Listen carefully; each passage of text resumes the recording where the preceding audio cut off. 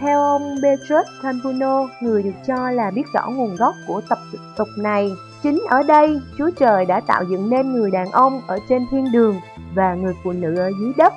Chúa Trời tạo cây tre và cây chuối ở dưới đất, cây trầu không và cây chanh ở trên trời.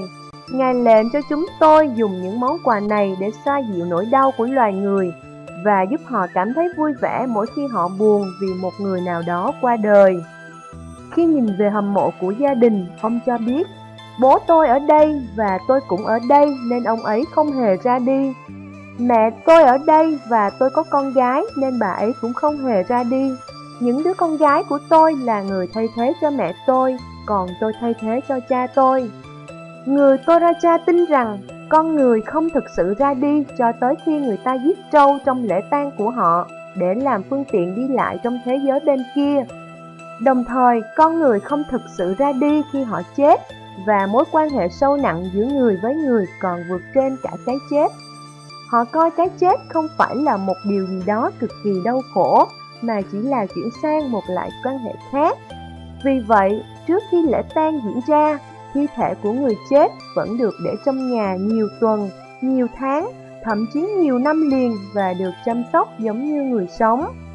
Để thi thể của người chết không bị thối rữa và dần dần khô lại, người Toraja áp dụng phương pháp ướp sát formalin gồm dung dịch formaldehyde và nước truyền thống. Elizabeth Rente, một người Toraja cho biết, chồng cô, anh Petrosem vừa mất cách đây gần một tháng. Sau khi Sam mất, gia đình cô vẫn để thi thể của anh trên chiếc giường đôi bằng gỗ với chiếc chăn đỏ được kéo lên đến cầm. Hàng ngày, Rante và các con đều nói chuyện với anh, mang đồ ăn thức uống cho anh 4 lần mỗi ngày. Rante chia sẻ, trước đây chúng tôi thường ăn cơm cùng nhau, giờ anh ấy vẫn đang ở nhà nên chúng tôi cần phải cho anh ấy ăn. Còn con trai cả Yoke của Rante cho rằng, chúng con làm như vậy vì chúng con rất yêu và tôn trọng ông. Phải nhiều ngày sau, Rante mới làm lễ nhập quan cho Sam thông qua một nghi thức công giáo và một bữa tối gồm thịt bò, rau và cơm cho hơn 100 người. Tuy nhiên, dù đã nhập quan nhưng thi thể của Sam vẫn được đặt ở trong nhà cho đến khi tổ lễ tang chính thức vì gia quyến không muốn để người chết ở một mình. Lúc này, Sam được mọi người trong gia đình gọi là Macula, tức là người bị bệnh và họ tin rằng dù bị bệnh nhưng linh hồn ông vẫn ở trong ngôi nhà. Ngoài gia đình Rante, một số người trong bộ tộc Toracha vẫn duy trì mối quan hệ với người đã mất thông qua nghi lễ Manene.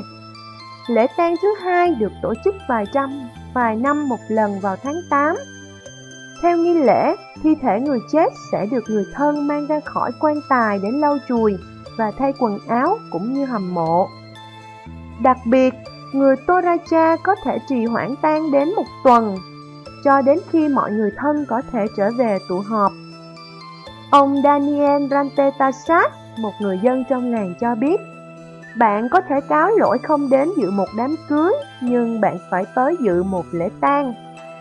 Thêm một chi tiết đáng chú ý trong tang lễ của người Toraja là con trâu, con vật được xem là phương tiện đi lại của người chết ở thế giới bên kia. Trong quan niệm của người Toracha, lễ tang lớn hay nhỏ phụ thuộc vào số lượng và chất lượng của những con trâu bị giết trong đó, và tối thiểu phải có 24 con bị giết.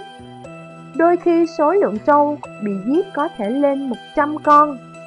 Những con trâu này do người tới tham dự lễ tang tặng.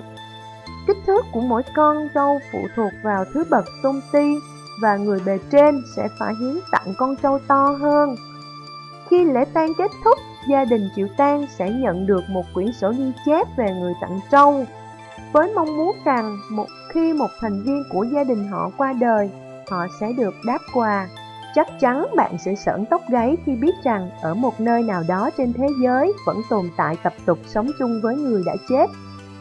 Nếu cảm thấy hoài nghi về tập tục này, bạn hãy tìm đến tộc người Toraja sống tại thị trấn Rantebeo thuộc đảo Sulawesi, Indonesia để tìm câu trả lời cho chính mình nhé. Đề cập đến tập tục kỳ lạ này, không ai biết chính xác nó có từ khi nào Bởi chữ viết của người Toraja bắt đầu xuất hiện từ đầu thế kỷ 20, nên hầu hết các truyền thống cổ xưa đều được truyền miệng. Theo ông Petrus Tambuno, người được cho là biết rõ nguồn gốc của tập tục này, chính ở đây Chúa Trời đã tạo dựng nên người đàn ông ở trên thiên đường và người phụ nữ ở dưới đất. Chúa Trời tạo cây tre và cây chuối ở dưới đất, cây trầu không và cây chanh ở trên trời. Ngài lệnh cho chúng tôi dùng những món quà này để xoa dịu nỗi đau của loài người và giúp họ cảm thấy vui vẻ mỗi khi họ buồn. Vì một người nào đó qua đời, khi nhìn về hầm mộ của gia đình, ông cho biết bố tôi ở đây và tôi cũng ở đây nên ông ấy không hề ra đi. Mẹ tôi ở đây và con gái tôi cũng ở đây nên bà ấy cũng không hề ra đi. Những đứa con gái của tôi là người thay thế cho mẹ tôi, còn tôi thay thế cho cha tôi. Người Toraja tin rằng con người không thực sự ra đi cho tới khi người ta giết trâu trong lễ tang của họ.